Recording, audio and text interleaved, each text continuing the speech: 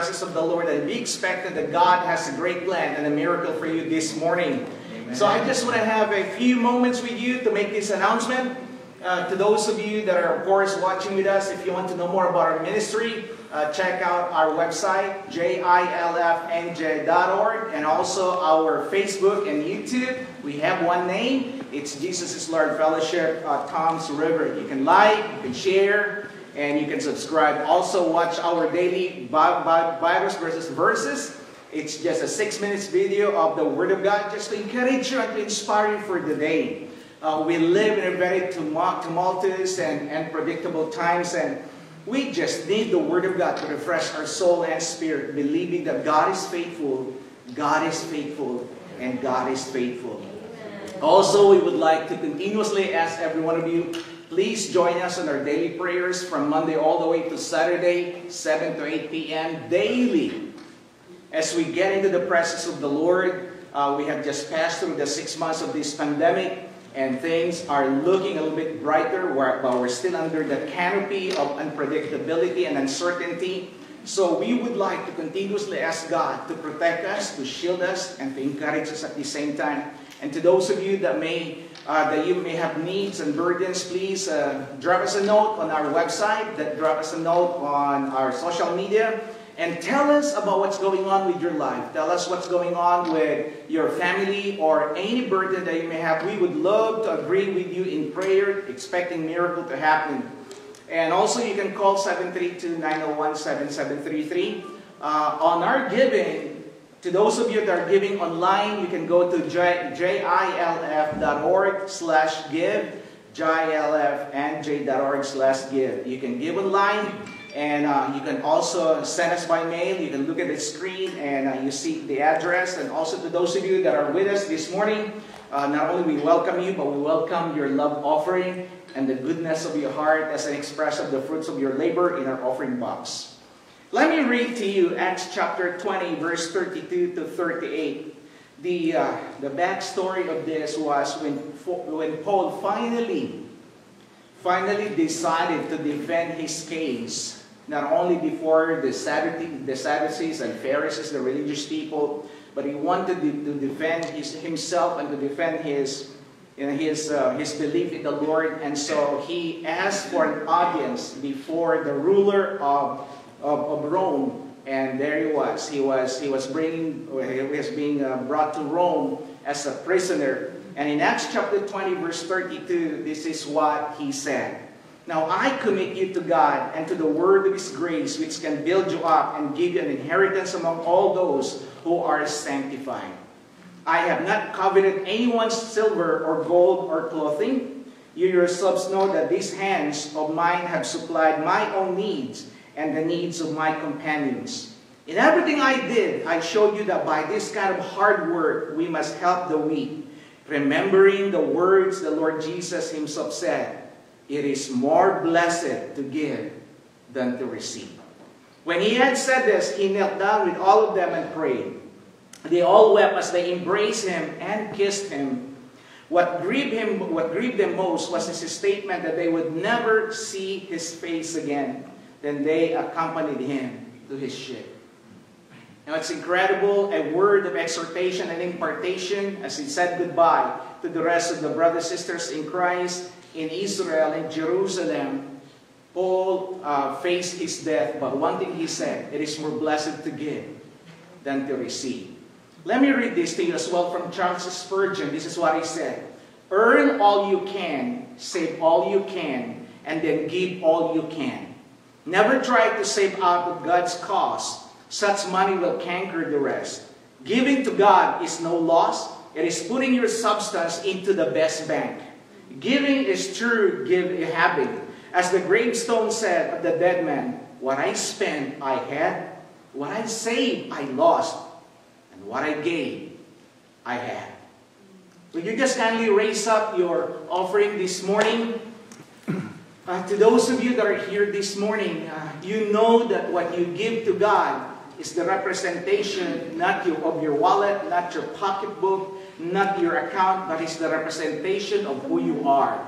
So whether you're giving partially, you're giving wholeheartedly, or you're not giving at all, whatever is the disposition of your heart this morning, what you give and do not give represents who you are. So remember that. What we give to God is an extension of who we are.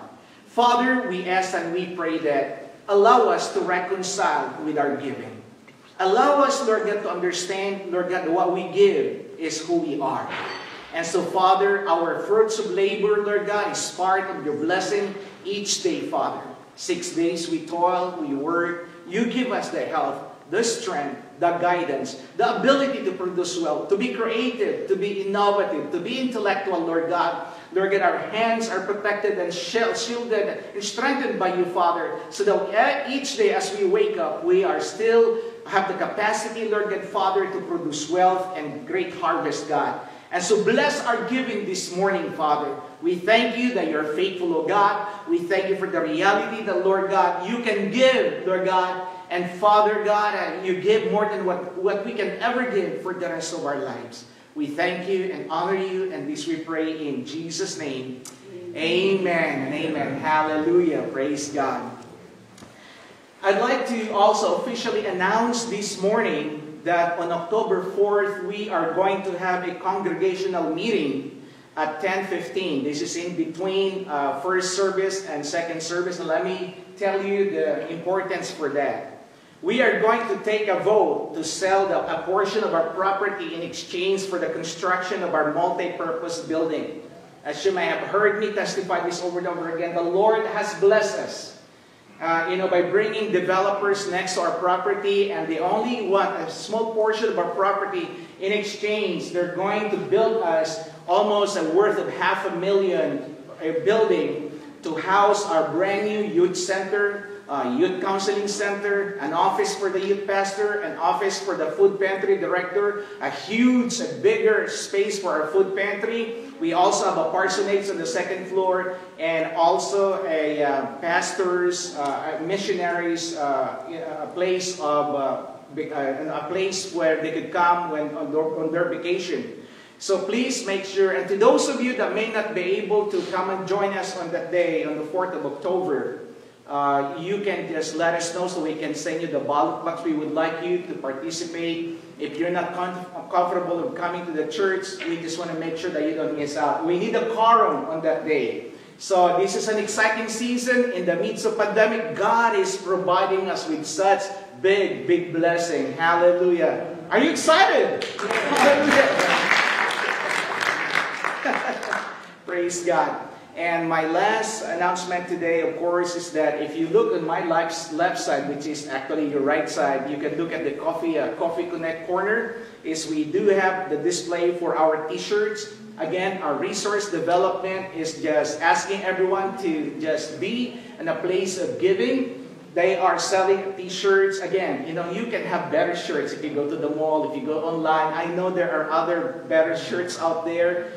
Uh, but this is, this is more towards raising funds to support our missions, community outreach, and house needs and contingency. Please check out the shirts. Uh, look for Sister Gurley and Sister Esther, or ask Sister Divine if you need some shirt, or sign up. You don't need to pay right now. You can take, you can take 20 t-shirts, you know, and then just pay it every week. It's up to you. But we just want all of you to just, you know, support our missions because right now it's tough out there. It's really tough out there for our missionaries. Some are stuck in nations that they don't know when they're going to come out. And some, some are stuck in a place where they don't know when they're going to be commissioned because there's just no support at this point and we're sacrificing and we're just asking everyone, let's pull our resource together so that we can bless and you know sustain our missionaries and sustain our in-house needs as well.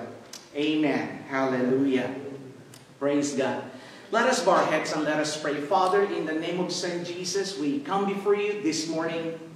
We want to thank you once again for the opportunity, Almighty God, to honor you with our giving, with our worship.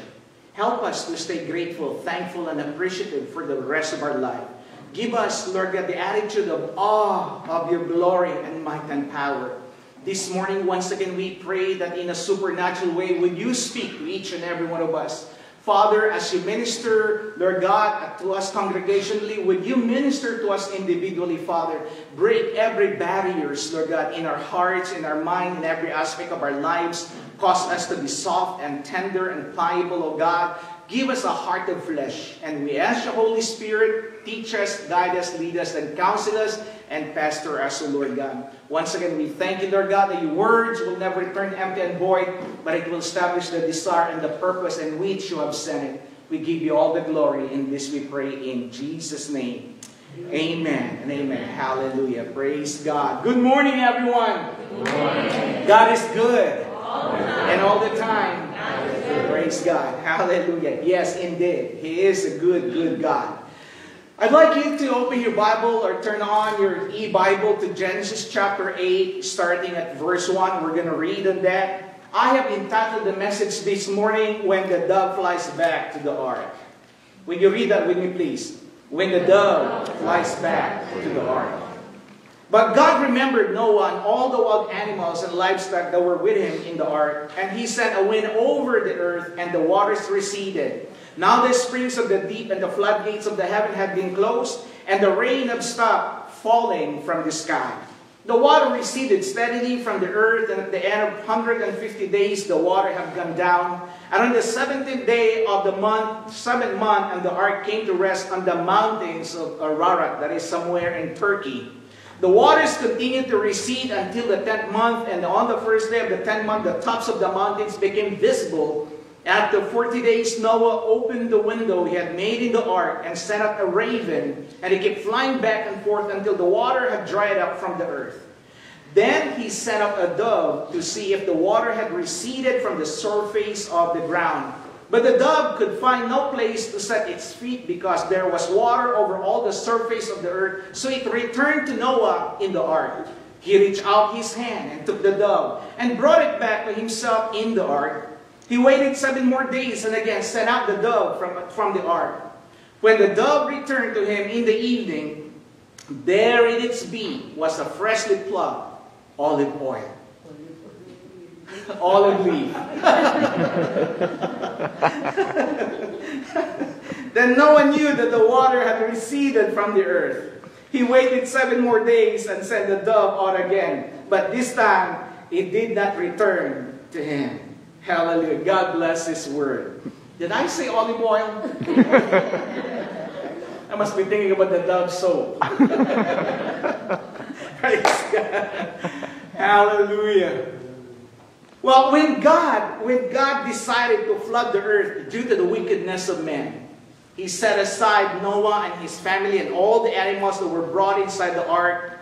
All in all, Noah and his family stayed inside the ark for almost a year, waiting for the water to recede and the ground to dry up. Now, I don't know how long you have been incubated, or if you have ever experienced being in one spot, in one place, for almost a year. But Noah and his family experienced this during the flood.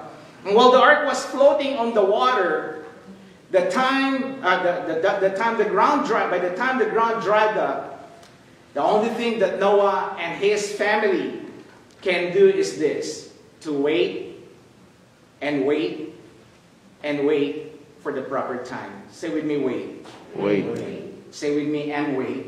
and wait. And say with me, and wait. And wait. Say with me once again, and wait. That's all they could do for almost a year. Day and night, they waited and waited and waited and waited. Now here's the scenario. Comparing to where we're at at this point to the time and life of Noah, there seems to be a similarity of the scenario. For Noah and his family, it was flood. For us in this generation, it's corona. It's COVID-19. It's pandemic. We seem to be inside this, this canopy of light the ark called pandemic. And we're inside the, the, this, this scenario and we are also waiting and waiting and waiting and waiting for the breakthrough, just like Noah. What is similar with Noah and us is for them, they've never, they've never seen water fall from the sky. Never in the life of Noah and his family.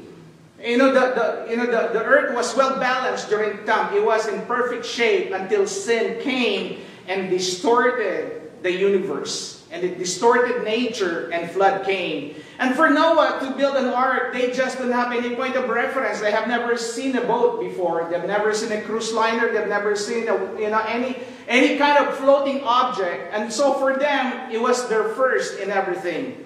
They've never seen water fall from the sky, never seen massive flooding, have never seen death all over the place. Well, look at us now. To many of us and to all of us, we have never seen what pandemic looks like. We have never seen infection by millions. And we have never seen death by thousands. It is only now. And all we can do as people of God and to all of us that are living on this earth is this. We wait, and we wait, and we wait. And we wait.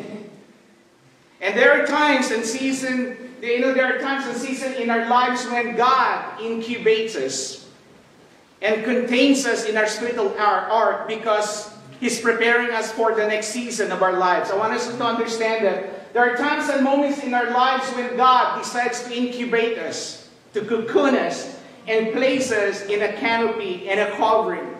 Because God is preparing us for the next season of our lives. Whether that is pandemic, whether that is flood, and sometimes it could come as a sickness. Sometimes it could come as a long wait for your, for your employment.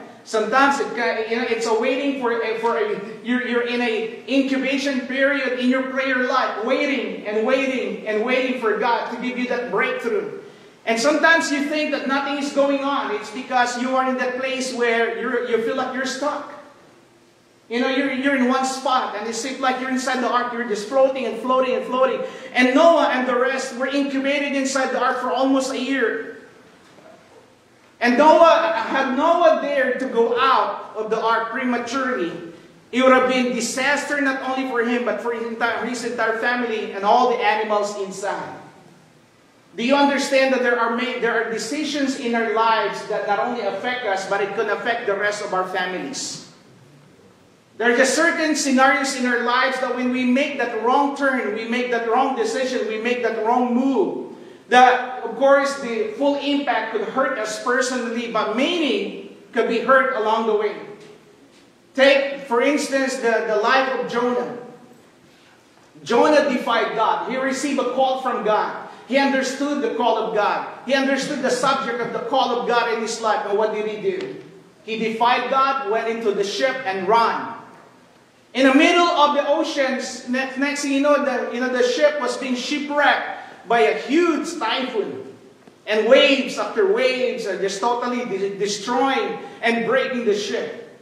And one by one, they started just, you know, just throwing all the cargoes and the animals to lighten up the load, but they just could not stop the ship from sinking until, until Jonah said, I am the issue, I am the problem. We, we can see a situation there that when we make wrong decisions at times, it could impact, and the ripple impact to that is upon one generation after generation after generation. And with Noah, it was the same. Had he got out of the ark prematurely, it could have killed them all, including all the animals selected by God, you know, that was under his custody.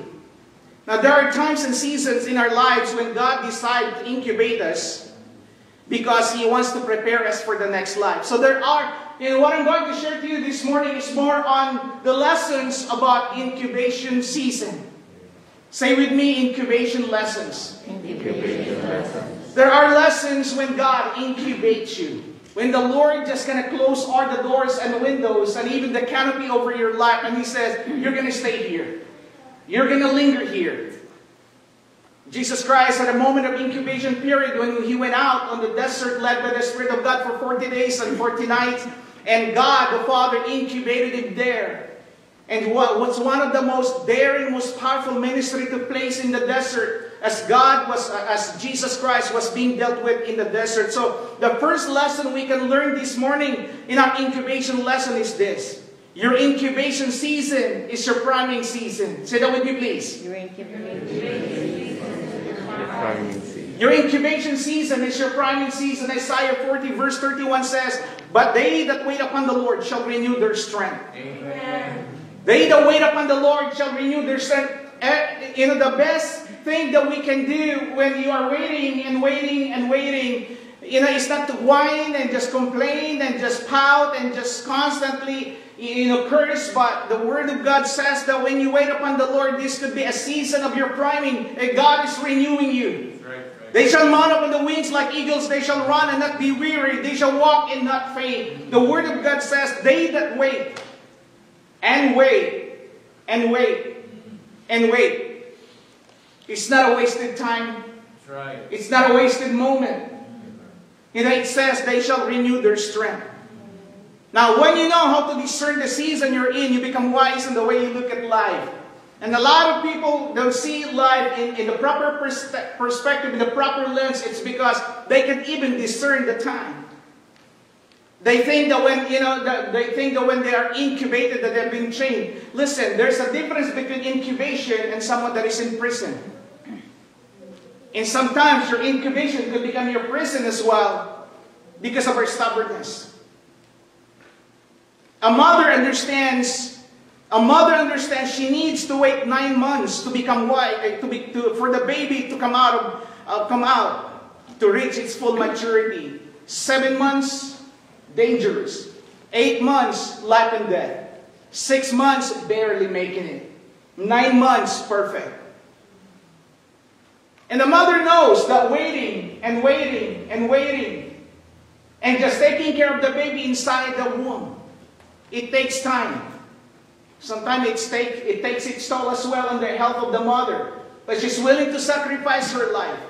See, when we are, when we are waiting upon the Lord, you know, God might be birthing something inside of you. And God is causing you to be pregnant with things that you've never heard, you've never felt, you've never experienced before. So learn, learn to embrace the season of waiting in your life because your incubation season is your priming season. A farmer knows what seeds he needs to plant and knows how to wait for his harvest. Do you, you understand that a farmer probably is the most uh, is the most uh, is the most connected individual to nature. A farmer knows Either the nature is against him or the nature is with him. He knows when the season is pretty much, uh, you know, uh, it's compatible to the season of planting. A farmer knows that. He could smell the air. He could sense the breeze. He could, he could touch the ground and he knows when it's the time, you know, to plant. A farmer knows how to wait because he understands that waiting is part of his harvest. You know, sometimes we look so much upon the product, but God is saying, I will give you the product, but I want you to understand this. I am also taking you into a process. I will give you what have you been waiting for in your life, he said. But you are more important than, than the product of your waiting at this point. See, I'm not only producing something out of you, I am producing a new person in you. Amen. Your incubation season is your priming season. But they that wait upon the Lord shall renew their strength.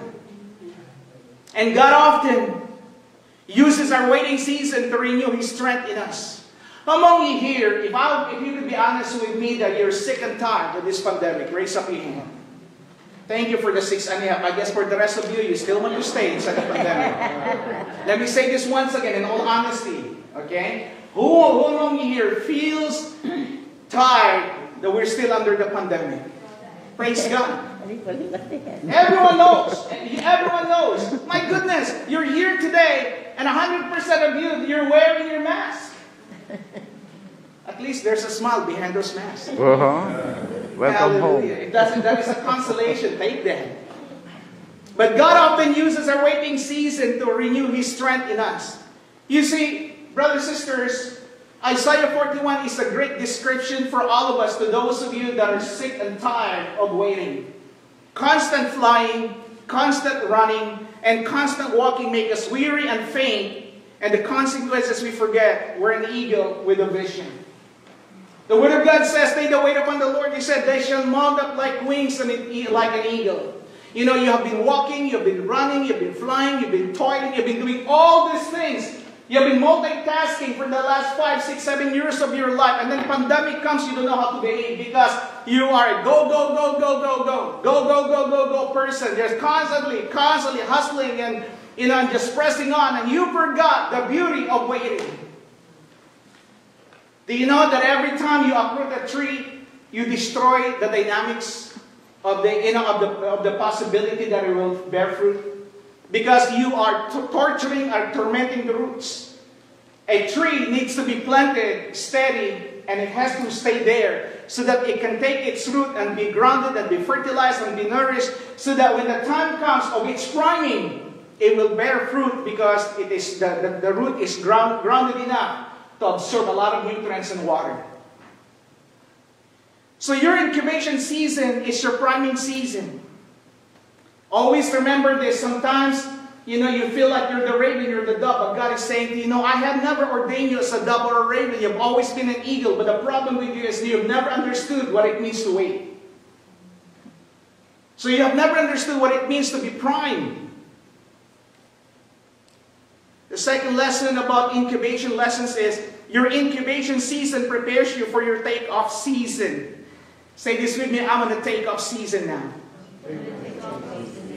Your incubation season prepares you for your takeoff season.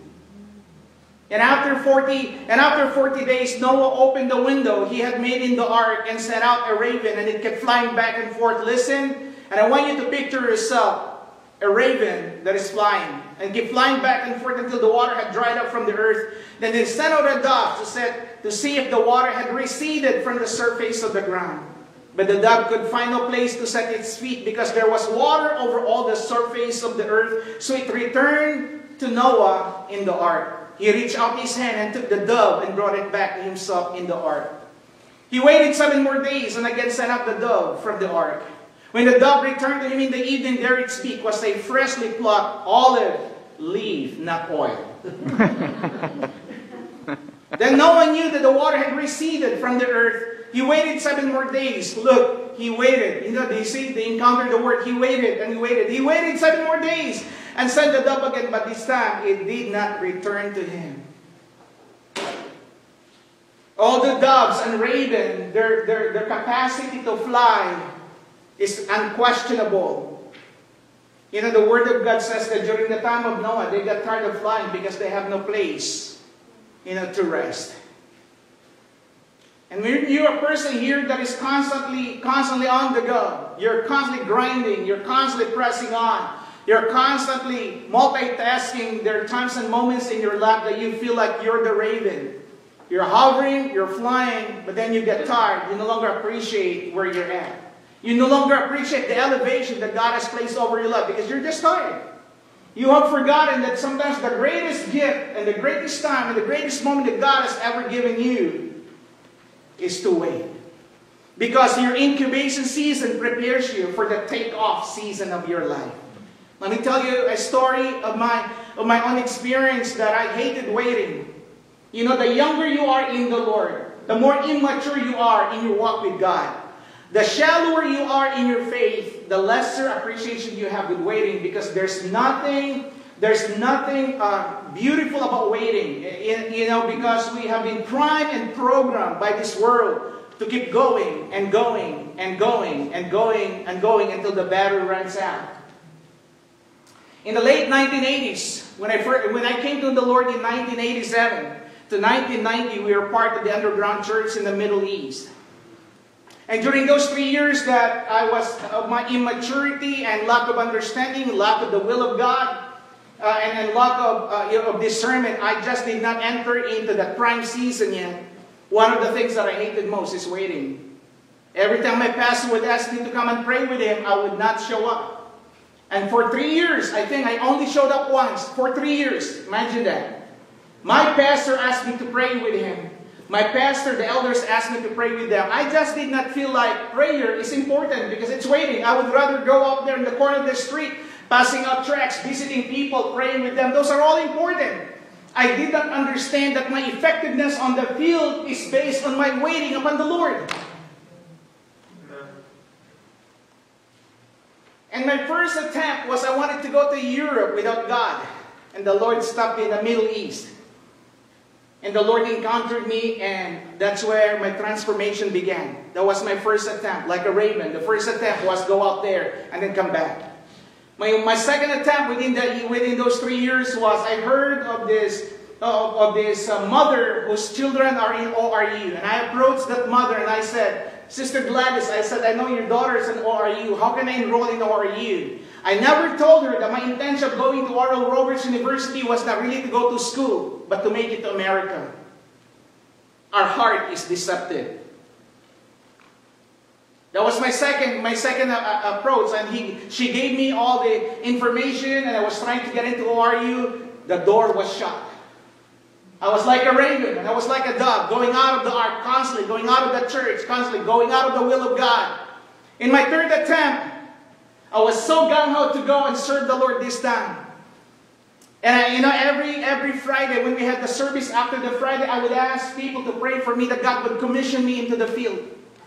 And one day I was riding with my with my one of my elders, and I was sharing how the Lord has been talking to me, how I wanted so much to go out there and go on full time.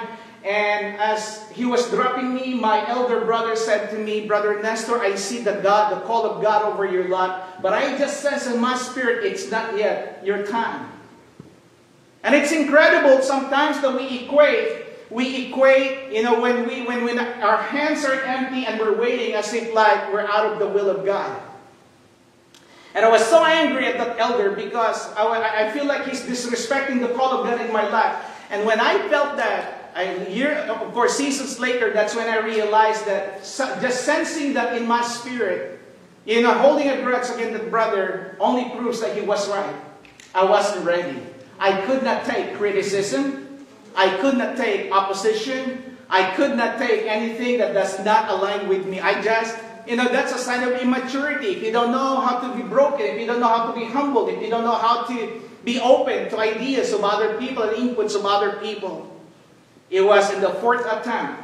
Now here's the difference. I forced myself out of the ark. I tried to fly myself out of the will of God. But in the fourth attempt, I was waiting in the church on an empty building.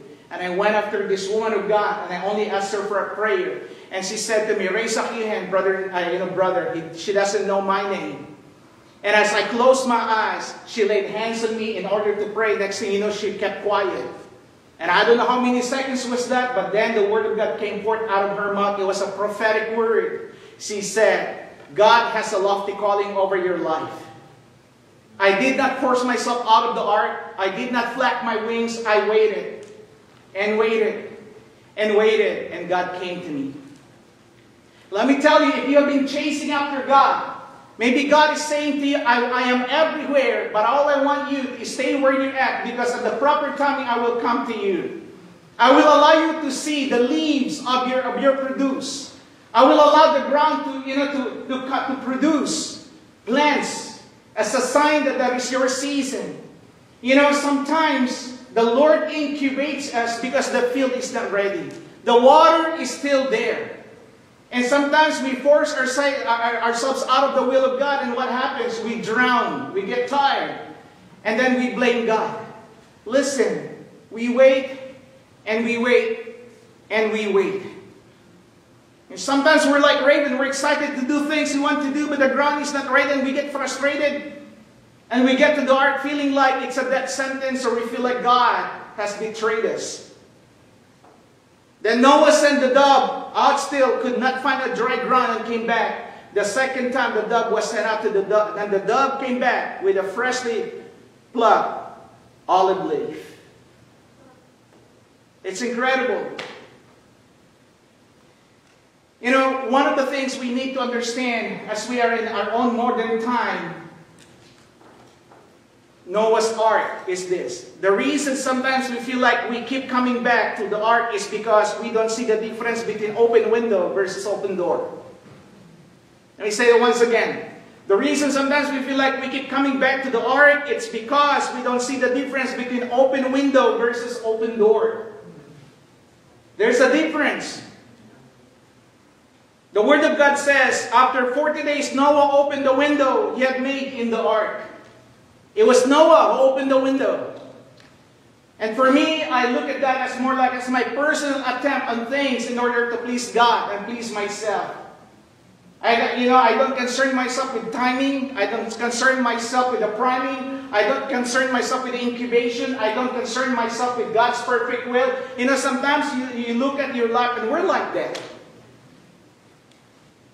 You have to know when the window is open versus when the door is open. And when, when Noah opened, it's, like it's a picture of human attempt of trying to do the will of God. But then one day, God opened the ark. In Genesis chapter 8, verse 15, here's what it says. Then God said to Noah, Come out of the ark, you and your wife and your sons and their wives. Bring up every kind of living creature that is with you, the birds, the animals, and all the creatures that move along the ground so they can multiply on the earth and be fruitful and increase in number upon it. So Noah came out together with his sons and his wife and his sons' wives, and all the animals and all the creatures that move along the ground. And all the birds, everything that moves on the earth came out of the ark, one kind after another. You can, can you just see the difference? When Noah opened the door, there was a lot of, uh, the window, he was, there was a lot of frustration from the doves, from the dove and the raven. It was a human attempt. But when he stopped opening the window and they just waited and waited and waited and waited, they began to hear the voice of God. And they began to hear the commanding of the Lord. And he said, Come out of the ark. And it's incredible because as God opens up the opportunity, God opens up the season, He opens up the door as well. Noah came out, the word of God. And then the family came next. And then in order that the animals came up. You see how order it is when it, it's God that orders everything? When it God's that you know that when God aligns everything, when God unlocks the door of opportunity in our lives, you can really see how orderly it is. You go out and things begin to follow you. The steps of the righteous man is ordered by the Lord. Amen. Man doesn't live. You know, man, you know, uh, we live by faith and not by sight. And when you're looking at when you're looking through the window, you're only looking by sight. But God is saying to us, you know, you see the window, I see the door. You see the opportunity, I see my priming in you. You see the outside, but I want to see more inside of you.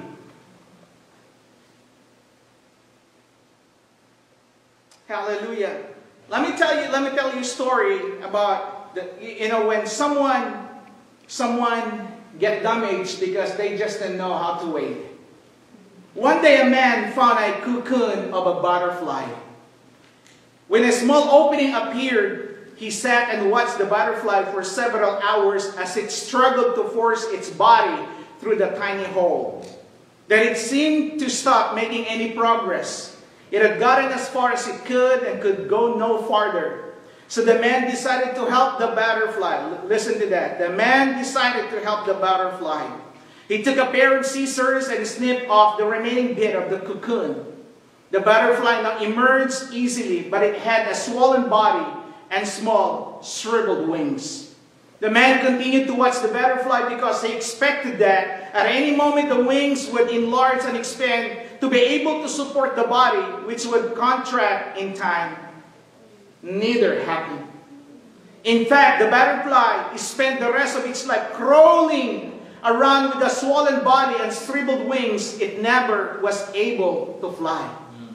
What the man in his kindness and haste did not understand was that the, the, that the restricting cocoon and the struggle required for the butterfly to get through the tiny opening were nature's way of forcing fluid from the body of the butterfly into its wings so that it would be ready to fly once it achieved freedom from the cocoon. Sometimes uh, struggles are exactly what we need in our lives. Listen, sometimes struggles are exactly what we need in our lives. If we were allowed to go through our life without any obstacles, it would cripple us. We would not be as strong as we would have been, and we would never been able to fly. There is a reason when God cocoons us, incubates us, separates us, isolates us, immerses us, encloses us. He shuts the door and he shuts the window, puts us inside the ark, and floating in the water, never knowing what we're going to do, never knowing we're going to be stranded, never knowing which mountain are going to land that ship, or we're going to run aground in that ship. Why? It's because God is teaching us that there are times in our lives when your best friend is not the comfort of your life, but it's the struggles. Last but not the least, the three great lessons inside the ark. Do you know that the Old Testament has already been revealed inside the ark? In God's prophetic way, you would find that the three greatest lessons have already been imparted and embedded in the life of Noah, long before there was 1 Corinthians chapter 13.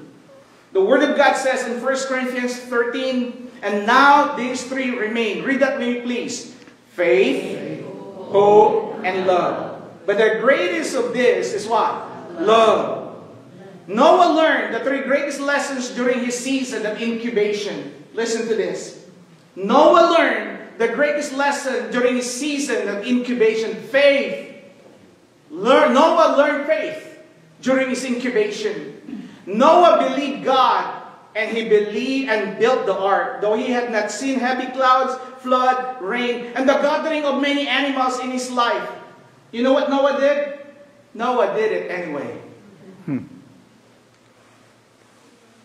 He has no point of reference, not any.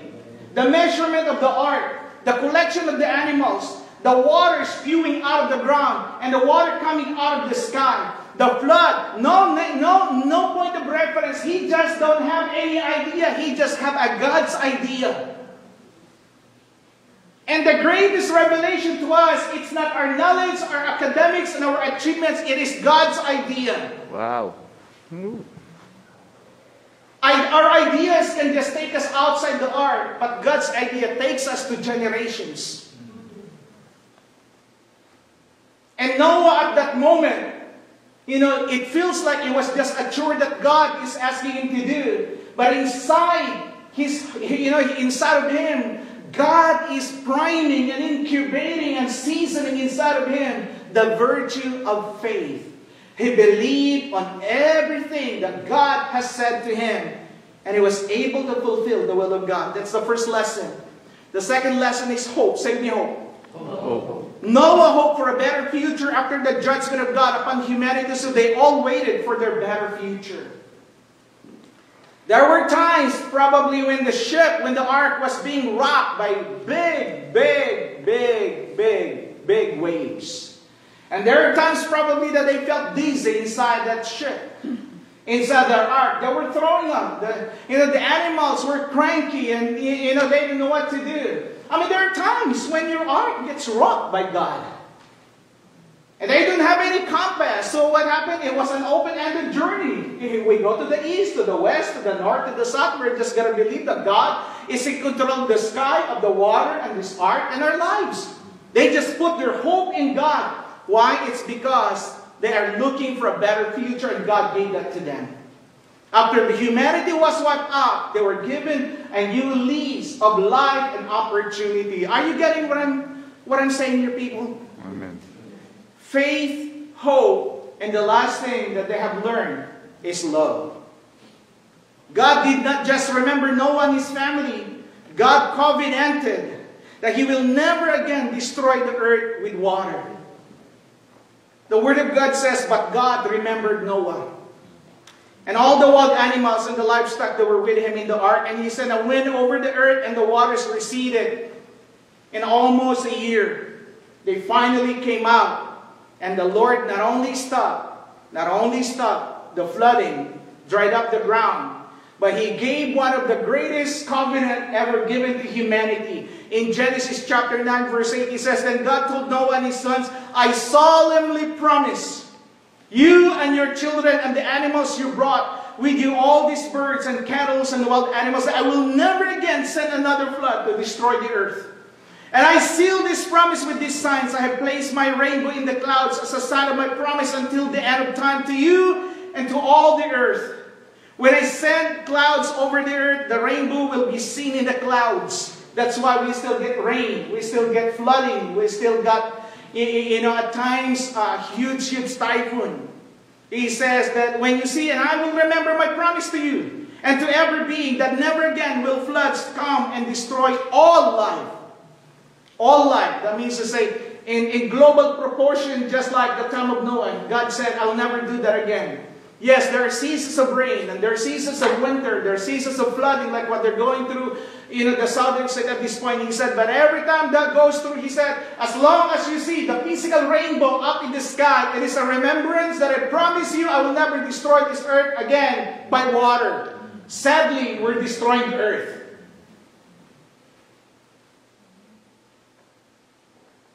For I will see the rainbow in the cloud and remember my eternal promise to every living being on the earth. So I hope and pray that we learned something this morning. That if the dove flies back to the ark, that doesn't mean that it's a dead end for you. God is saying, I'm not yet done, I'm not yet finished. You have not yet appre- appreciated your waiting season. You have done so much of the going season and doing season of your life. You got to learn to have the waiting season, your incubation season, because it is your priming, it is your takeoff, and that's when you learn the value of the greatest lessons in life faith, hope, and love.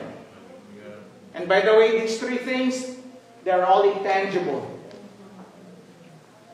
It's, it doesn't equate a mansion or a yacht or six figures or a career in New York. These are all intangible Right. and these are all eternal Right. and these are all inside. Mm. Hallelujah. Let's bow our heads and let us pray. Father, in the name of your Son Jesus, Lord, as we are waiting and waiting and waiting and waiting for our own modern day pandemic, Lord God, Father, we feel like we're inside Noah's Ark. There is a reason, Lord God, because you are priming us, you're seasoning us, Lord God, you're grounding us, you're developing us, you're maturing us, you're bearing fruit in us. You're allowing us, Lord God, Father, to take off one day, and you're allowing us to learn the greatest lessons, Lord God, during this time of pandemic. So, Father, we ask and we pray that teach us just like Noah to discern the difference between an open window with an open door. Lord God, teach us, Lord God, to be an eagle, Lord God, and not a dove, and not an ark. We don't, Lord God, we don't force the issue with you, Lord God. We allow the issue, Lord God, to come to you so that you can fix it for us. And if anyone will be here today, and to those that are watching with us today, I would like to encourage you, give your heart to Jesus. Jesus died for you. Jesus died so that He can forgive you of your sin and give you a new life. The Word of God says, I am the way, the truth, and the life. No one comes before you. No one comes before me except through Jesus Christ. And so give your heart to Jesus. God can give you a brand new life and transform life. Allow Jesus to come in the incubation of your life. In, in the waiting season of your life, give your heart to Jesus. And it's starting today, if you say, Jesus, I love you, I want to give my heart to you, please forgive me of my sin. You can go to your room and get on your knees and ask God to forgive you. And ask Jesus to reveal Himself unto you. And let me guarantee you, God is going to change and transform your life. Let's all stand up, please. Let's all receive the benediction today. Will you kindly raise up your hand with me?